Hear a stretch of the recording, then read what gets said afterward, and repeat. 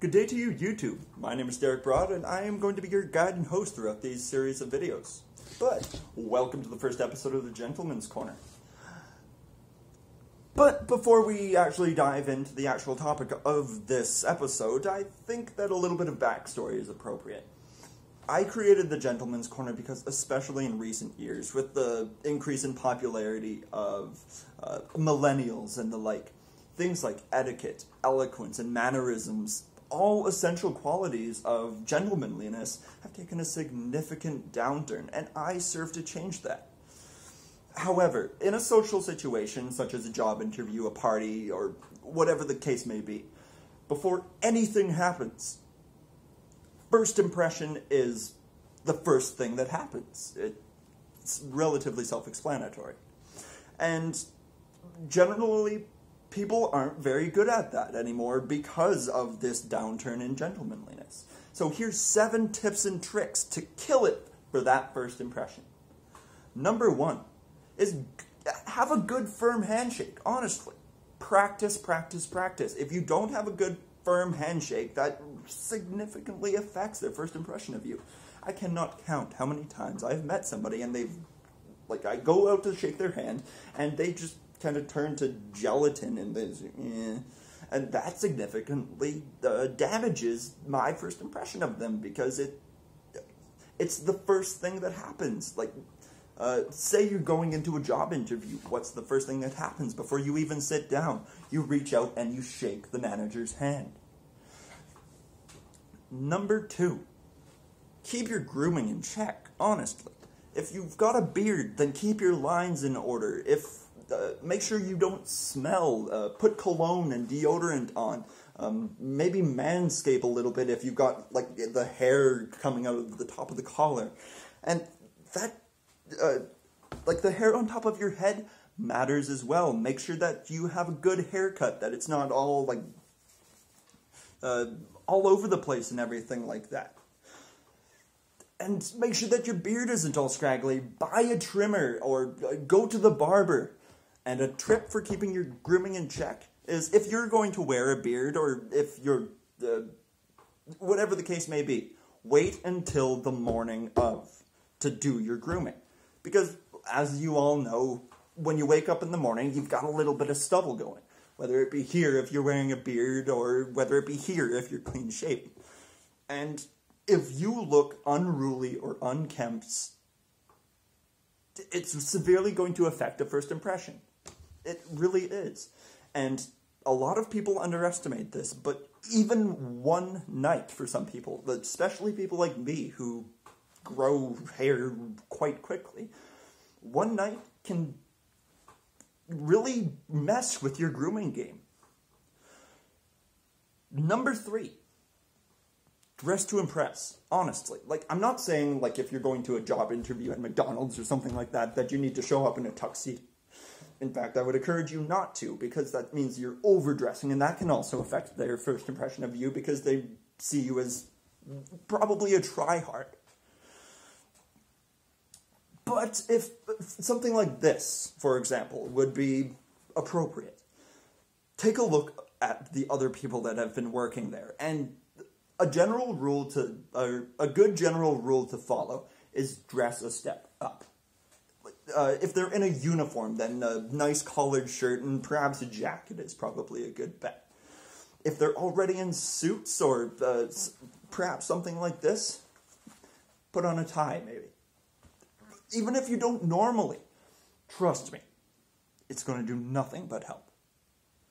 Number four, posture is important. One of the first things that someone notices is about people when they meet them is their posture. Trust me, I know. When I was young and in the early stages of junior high and stuff like that, I had pretty bad spinal problems, so my posture was like this, and I walked around very slouched over, and that affected a lot of people's first impressions of me. It's just how it is. It's one of the first things that people notice about you. Number five is honestly just be confident. If you're going into something thinking, already thinking that you're not going to be able to do it, chances are you're not going to do it. without confidence, people just don't have the drive to go out and have the necessary, um, what's the word? Uh, the, like, conviction to go out and do what is necessary in order to com- accomplish a certain task, whatever it may be. And confidence really affects the vibes that people get from you, and that is most certainly a thing. If you're confident and you're uh, you've got that smile and you've got your grooming in check and you're looking good, then chances are you're pretty confident yourself, and that's really just going to boost someone's opinion of you. Number six is honestly be clear and concise. Diction is important. Um, for example, I work at a hotel and I have for quite some time.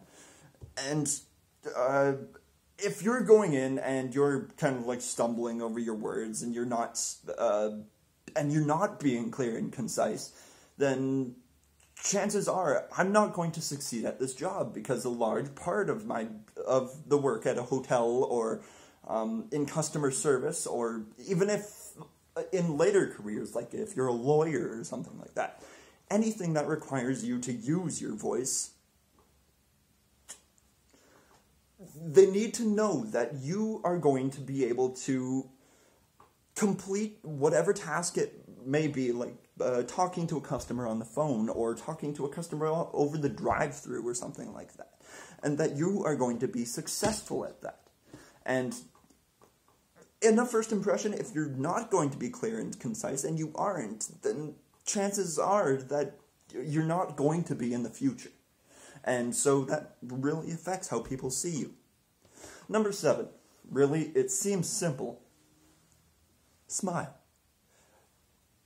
smiling really affects how people see you. It uh, smiling is a large sign of confidence, and it's also uh, it shows that you're happy and that you are um, and that you have a certain go-to-itiveness. Honestly, show off those pearly whites. If you don't have really good teeth or something like that, then keep your lips closed. Something like that. But smiling is important, and it's ju- and each of these are in no real particular order. All of them are just as important as the last. And all of it will affect the way that someone sees you on their first impression. Recent studies have shown that people make a first impression of you like as soon as you walk through the door, in the first pretty much second that pretty much means that, say you're walking into a job interview, they've already decided whether they're going to whether they're going to hire you or not within the first five seconds. And that's actually fact. Google it, really. However, those are my seven tips and tricks into killing it with your first impression. That's all that I have for today. I will see you at the Writers Emporium, and I will see you at Facts, Fun, Philosophy, oh my. So, oh, and my camera fell over. Have a nice day.